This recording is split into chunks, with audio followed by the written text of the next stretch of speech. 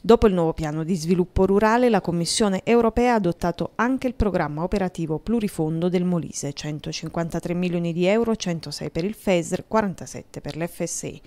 Ad ottenere l'approvazione col Molise anche Sardegna e Friuli Venezia Giulia, tre amministrazioni, ha dichiarato la commissaria degli affari regionali Corina Cretu, che hanno delineato le loro azioni sulla base di specificità e specializzazioni intelligenti dei territori, in modo da valorizzare le risorse economiche, ambientali, energetiche e turistiche di cui dispongono.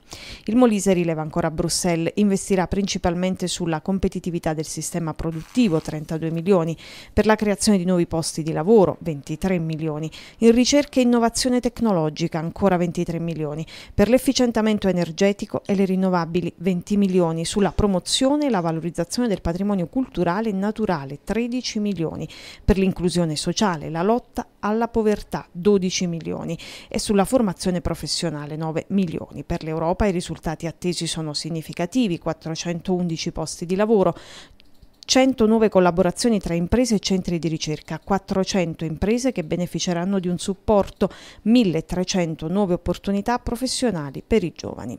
Risorse destinate al lavoro, ripresa e sviluppo del nostro Molise, con un'attenzione nuova alla sostenibilità e alla lotta alla povertà è il commento soddisfatto del Presidente della Regione Paolo Frattura e del suo vice Michele Petraroia che è anche assessore al lavoro. La concomitanza quasi contestuale dell'adozione del PSR dei programmi operativi FESR e FSE dà ragione a una visione di insieme, sottolineano, che abbiamo saputo costruire mediante una concertazione continua e reale col partenariato molisano.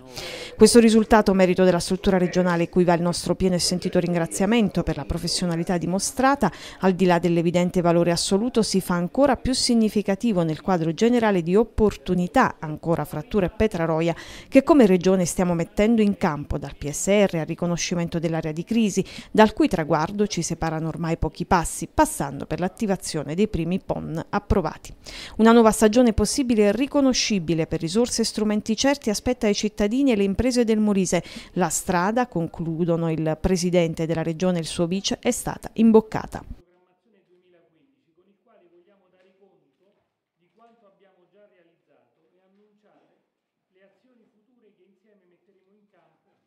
per. Il documento